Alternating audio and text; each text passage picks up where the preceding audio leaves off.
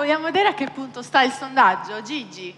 Sì, abbiamo chiesto ai nostri telespettatori di dirci se questo Napoli potrà fare o meno strada in Champions. Bene, ottimisti naturalmente i nostri tifosi, per l'80% il Napoli ha tutte le potenzialità, un po' più scettico il 20%.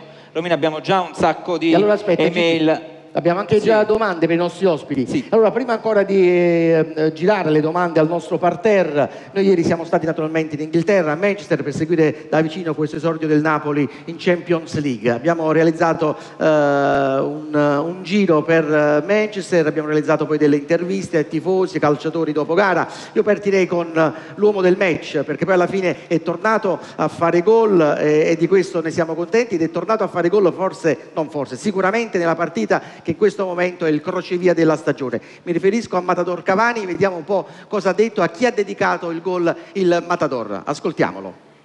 Te lo sei proprio conservato stasera per l'esordio in Champions, il tuo ritorno al gol, Lady?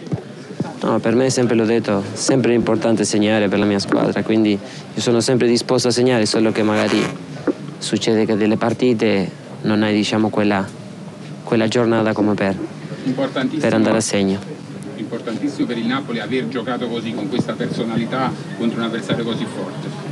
Sì, sapevamo che loro sono una grandissima squadra, che, le, che hanno dei campioni, però abbiamo preparato la gara in questo modo, cercare di, di, di difenderci bene e aspettare il momento per, per contrattaccare e, e, fare la nostra, diciamo, delle nostre caratteristiche meglio che quella di, di ripartire e fare male e fino a che siamo riusciti l'abbiamo fatto e abbiamo, siamo riusciti a segnare. Com'è stato l'impatto personale con la prima partita dei Champions, Edinson, anche dal punto di vista emotivo? È molto importante, importante perché diciamo il Napoli è da tanto tempo che non è in questo tipo di competizione, quindi per me essere oggi qua nella mia prima partita in Champions con il Napoli, dopo di tanti anni, per me era, aveva una soddisfazione importante, quindi è stato molto bello fare una partita in questo modo come l'abbiamo fatto oggi.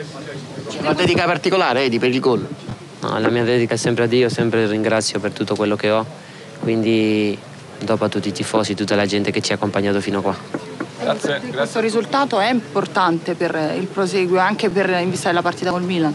Sì, guarda, questa è la prima, la prima, la prima partita che abbiamo diciamo, di questo girone, sappiamo che sarà molto importante, molto dura per niente, abbiamo portato un punto a casa che ce l'abbiamo meritato perché abbiamo fatto una grande partita, però adesso un po' cominciamo a pensare nel Milan, da domani in poi che io credo che, che è pure importante per noi.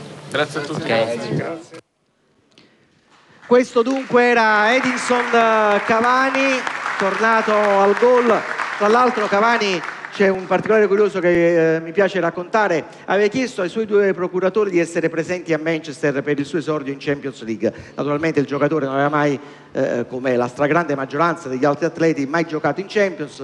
Aveva chiesto ad Anellucci e Triulzi di essere presenti con lui eh, a Manchester e la presenza evidentemente è stata beneaugurante visto che è tornato al gol, ripeto, è la partita più importante di questa stagione. Ma sento dei, dei rumori sì, è vero. Pro- provenire Sono dal camerino. Dal camerino, Ma sento dei rumori. Non lo so, sento dei rumori provenire dal camerino? Mi hanno detto che c'erano, ci sono stati dei casini. Andiamo che cosa è successo? Cosa è successo? in scena. Io queste cose non le ho mai fatte. Io sono l'angelo del focolare, sono il messaggero di Euromobilia, porto le buone notizie. Solo che ora non mi ricordo le buone notizie che devo dare alle signore che stanno a casa. Sto perdendo i colpi, questa è la verità. È uscita per la Io poi 600 anni pure li tengo. Oh, però non me li porto male. Eh, giovane, sono ancora giovane. Bello, sono grazioso. Alto, sono alto 1,72 cm. I centimetri! Ecco il messaggio di Euromobilia! I centimetri! Sta per iniziare un grande evento, qualcosa di mai visto prima! È solo questione di centimetri! E che vuol dire? Ma è solo questione di centimetri! Ma, ma se lo dice Euromobilia, aspettatevi qualcosa di grande! E rieccoci, rieccoci, rieccoci, rieccoci, facciamo un applauso perché grazie anche a chi ha avuto fiducia e coraggio in un momento difficile dal punto di vista economico come questo, insomma un applauso di incoraggiamento a chi ha creduto nella trasmissione, nella produzione, in assoluto degli investimenti va fatto a prescindere. Diamo voce ai tifosi? Ok. Gigi. Due domande, la prima è per Ciccio Graziani. Eh, pensi che Cavani sia più in affanno rispetto all'inizio della stagione scorsa? Beh, questo sì è stato un po' evidenziato in queste due partite importanti che ha giocato il Napoli, sia a Cesena che contro il Manchester City, ma qui io non mi preoccupo di Cavani perché Cavani è troppo forte. Tra l'altro quest'anno, vista l'esperienza dell'anno scorso, farà altrettanto bene, non possiamo sapere se farà di più o di meno, ma farà sicuramente bene per il Napoli. È un po' in ritardo perché l'abbiamo visto, non è ancora in condizioni fisiche ottimali e evidentemente la Coppa America, le ferie, ritorno un po' in ritardo rispetto agli altri, si è allenato un pochino di meno, quindi è un po' in ritardo di condizioni, ma date retta a me, non vi preoccupate di Cavani perché Cavani ci sarà anche quest'anno. Poi ha iniziato bene, no Ciccio? Fate gol in Champions League. E poi se anche in momenti particolari dove la forma non è ottimale, eh, riesci comunque a farti trovare pronto e a fare che ha fatto lui ieri, non c'è problema. Non vi preoccupate di Cavani, starà bene anche quest'anno. Grande Matador, grande Matador, uno dei punti fermi della prossima stagione. Sì Carlo, eh, Marco Rocco su Facebook ci chiede per Gianni Improta Gargano a fianco di Hiller è un esperimento riuscito, si può riproporre anche in campionato oppure c'è Zemaili che scalpita in panchina? Ma guarda, io mh, dico sempre, magari l'avevo detto, perché ancora prima che iniziasse il campionato, eh, allora le domande dei eravamo vostri, in due. Eravamo, eravamo in due.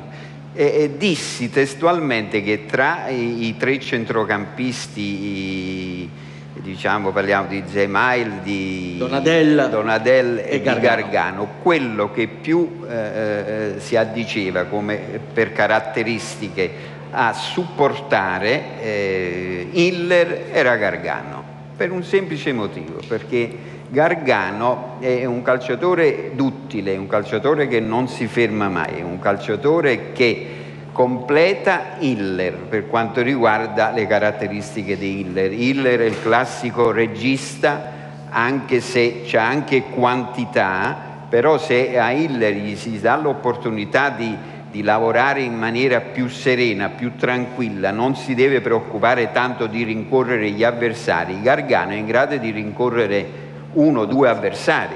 E allora quello che più si addice a far migliorare il centrocampo del Napoli è Gargano, senza nulla togliere a Zemail e a Donadel che gli riconosco delle caratteristiche importanti, però a differenza di Gargano anche come Hiller hanno caratteristiche un po' più diciamo, offensive per quanto riguarda Zemail, un po' eh, da, da, diciamo, da centromediano metodista, però meno cursore Donadel. E quindi io preferisco uno come Gargano che a, ad Hiller gli dà una mano incredibile dal punto di vista dinamico. Oh, Carlo, non sono molto d'accordo con Gianni. Perché? Perché io dico che il Napoli è passato da Gargano Pazienza a, a, a Ilner Zemaili. Allora io Zemaili l'ho seguito tantissimo quando era al Toro e sono due giocatori che sanno fare quantità e qualità. Il centrocampo del Napoli con questi due giocatori è migliorato eh, come qualità moltissimo. È vero, Gargano ha delle qualità che non hanno gli altri due. Quando devi andare ad aggredire, a rincorrere, a, a, a pressare, è un giocatore importantissimo. Tra l'altro in questo momento diciamo che è un'alternativa. Il Napoli si è rinforzato molto al centrocampo proprio perché ha portato Ilner e Zemaili che hanno quantità e qualità. E noi andiamo un attimo in pubblicità.